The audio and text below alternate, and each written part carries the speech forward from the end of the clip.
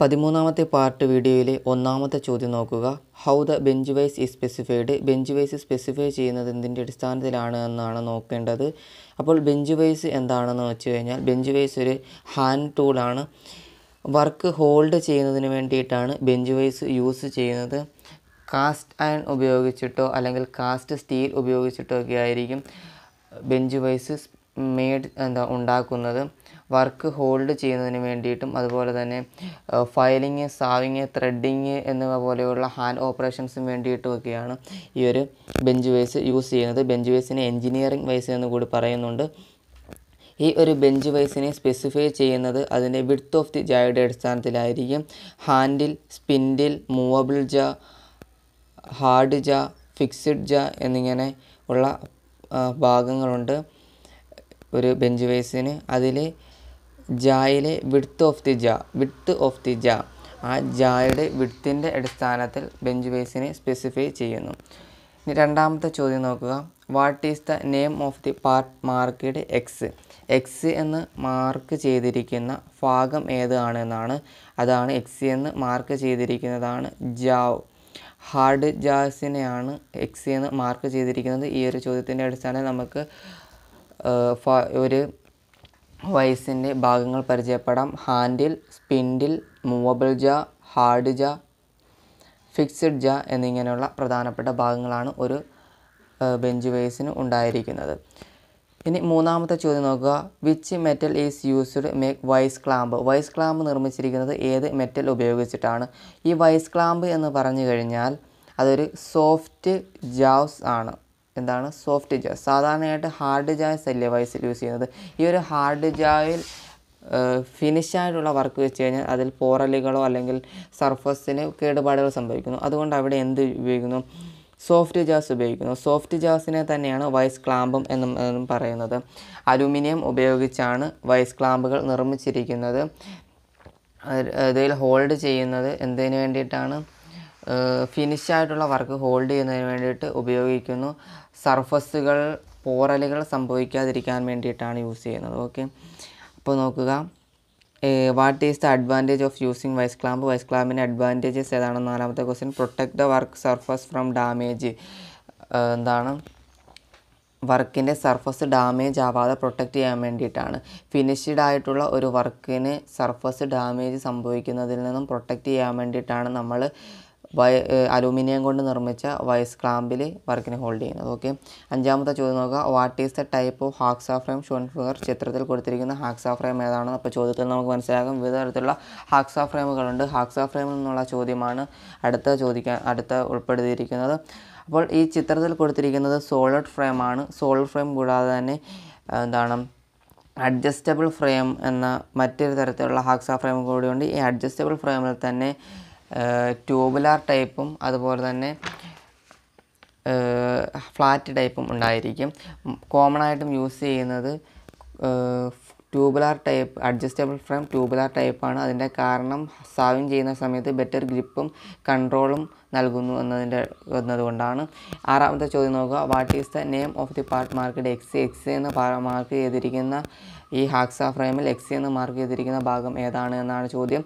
ഇവിടെ കൊടുത്തിരിക്കുന്നത് hacksaw frame adjustable hacksaw frame tubular ടൈപ്പാണ് കൊടുത്തിരിക്കുന്നത്. അവിടെ കൊടുത്തിരിക്കുന്ന എക്സിൽ നിന്ന് മാർക്ക് ചെയ്തിരിക്കുന്ന വിങ്നെറ്റാണ് ഈ ഒരു ചോദ്യത്തിന്റെ അടിസ്ഥാനത്തിൽ നമുക്ക് എൽ എന്താണ് ഒരു ഹാക്സ ഫ്രെയിമിന്റെ പ്രധാനപ്പെട്ട എല്ലാ ഭാഗങ്ങളും നോക്കാം.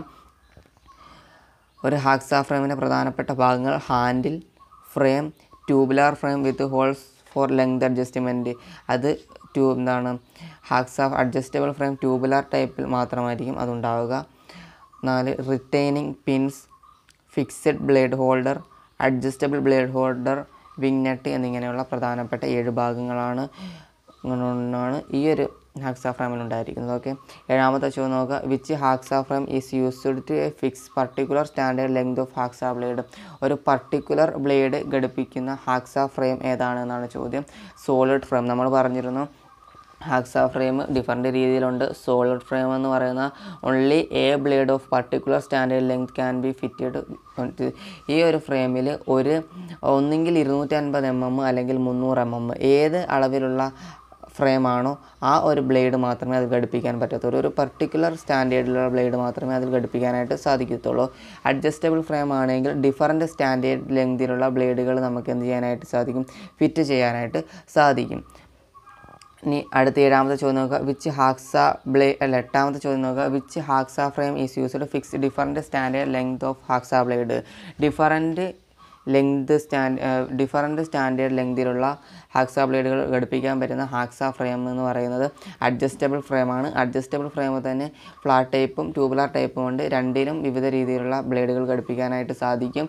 എന്നാലും പ്രധാനമായിട്ടും യൂസ് ചെയ്യുന്നത് ട്യൂബുലാർ ടൈപ്പ് ആയിരിക്കും. അതിന്റെ കാരണം എന്ന് പറയുന്നത് ബെറ്റർ ഗ്രിപ്പും കൺട്രോളും നൽകുന്നു എന്നതുകൊണ്ടാണ്. സാവും ചെയ്യുന്ന സമയത്ത് ഗ്രിപ്പും കൺട്രോളും നൽകുന്നു എന്നതുകൊണ്ടാണ്.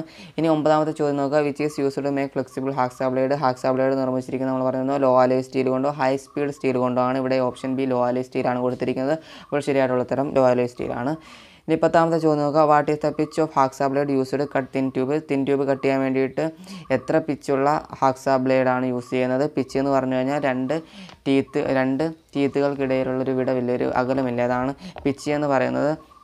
ശരിയായിട്ടുള്ള ഉത്തരം nought point eight M M option C ആണ്. Zero point eight M M. One point four M M option A. One point four M M കൊടുത്തിരിക്കുന്നു. അപ്പോൾ അത് എന്ന് പറയുന്നത് സ്റ്റീ എന്താണ്? Tool steel high carbon high speed steel എന്നിവയൊക്കെ യു എന്നിവയൊക്കെയാണ് one point four M M പിച്ചുള്ള blade കൊണ്ട് കട്ട് ചെയ്യുന്നത്. Option B one point eight M M. One point eight M M ഉള്ള പിച്ചുള്ള ബ്ലേഡ് കൊണ്ട് സോഫ്റ്റ് മെറ്റീരിയൽസ് എന്ന് വെച്ചാൽ bronze brass soft steel cast iron heavy angles ഒക്കെയാണ് one point eight M M പിച്ചുള്ള blade കൊണ്ട് cut ചെയ്യുന്നത്. Option C നോക്കുക. Zero point eight M M zero point eight M M ആണ് ശരിയായിട്ടുള്ള ഈ ക്വസ്റ്റ്യന്റെ ശരിയായിട്ടുള്ള ആൻസറും. ചാലകവും തിൻ ട്യൂബുകളും ഷീറ്റ് മെറ്റലും ഒക്കെയാണ് zero point eight M M പിച്ചുള്ള blade കൊണ്ട് കട്ട് ചെയ്യുന്നത്. അടുത്ത option D one point zero M M one point zero M M കൊണ്ട് കട്ട് ചെയ്യുന്നത്.